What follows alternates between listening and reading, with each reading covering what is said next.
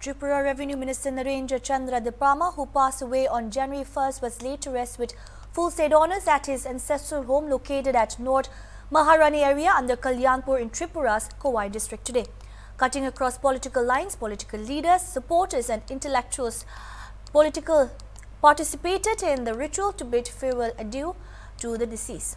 The mortal remains was first taken to the Civil Secretariat where senior ministers of the state cabinet, including Chief Minister Dr. Manik Shah, paid floral tributes to the minister. The Chief Minister said the vacuum left by Diprama in the state's political space can never be fulfilled by others.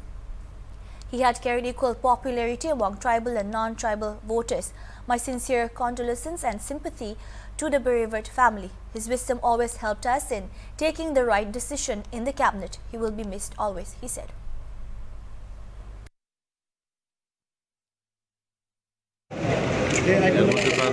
বলার কিছু নেই গত পরশু দিন ওনার ব্রেইনের মধ্যে যেটাকে CBA বলা হয়, আমাদের মেডিকেলের ভাষায়, আক্রান্ত হয়ে উনি জীবিতে ভর্তি হয়েছিলেন। তৎক্ষণাৎ শুনে আমি সেখানে গিয়েছিলাম। যাওয়ার পরে ওখানের যে নিউরো সার্জন ছিল, তাদের সাথে আমি কথা বলেছি। উনি বললেন যে ইমিডিয়েটলি অপারেশনে যেতে হবে। তাছাড়া উনি অনেক দিন ধরেই ওনার সমস্যা ছিল, বিভিন্ন বার্ধক্যজনিত সমস্যা ছিল। তো যাই হোক ওনারা ডিসিশন নিয়েছেন যে অপারেশনে যেতে হবে। তো হাই রিস্ক পেশেন্ট ছিল। তো সেইভাবে ওনাদের যে ফ্যামিলির মেম্বার তারাও কনসেন্ট দেওয়ার পরে অপারেশন হয়েছে। কিন্তু তখনই দেখে এবং যা বোঝা যাচ্ছিল যে ভেরি ডিফিকাল্ট টু সার্ভাইভ যাই হোক ওনারা চেষ্টা করেছেন। শেষ পর্যন্ত শেষ রক্ষা হয়নি। গতকাল দুটো পঁয়তাল্লিশ মিনিটে দুপুরবেলা উনি পরলোক গ্রহণ করেছেন। অত্যন্ত আমাদের একজন বরিষ্ঠ আমাদের ক্যাবিনেটের মন্ত্রী ছিলেন, রাজস্ব দপ্তরের মন্ত্রী ছিলেন এবং উনি যখন যে কাজ করেছেন, অত্যন্ত বুদ্ধিমত্তার সাথে উনি আমাদেরকেও উনি ওনার সবসময় অ্যাডভাইস দিতেন Congress MLA Sudeep Roy Barman and other officials also paid tributes to the minister at the State Assembly. Barman said he always stood beside the people and tried to do something for them. His spirit was a source of inspiration for us. I'm falling short of words to explain the pain we have suffered after hearing the news of his demise. মধ্যে জেনেছেন আমাদের রাজ্যের মন্ত্রী NC Varma বরিষ্ঠ নেতৃত্ব জাতি জনজাতি উভয় অংশের নেতৃত্ব।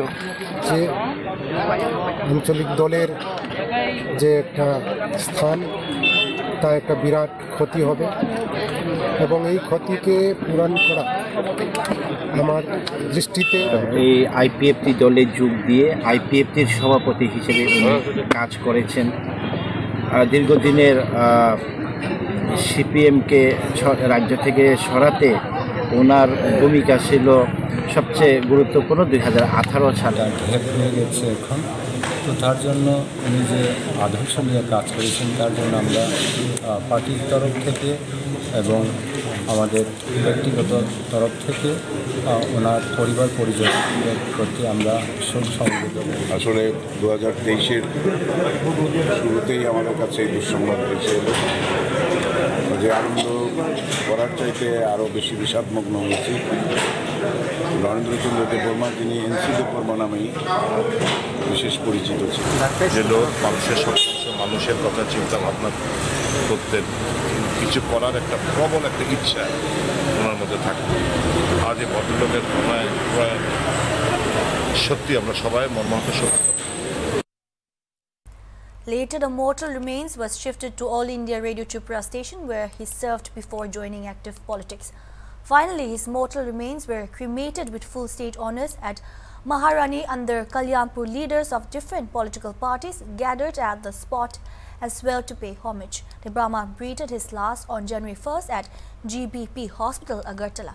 He suffered a cerebral stroke on December 31st that led to surgical procedures.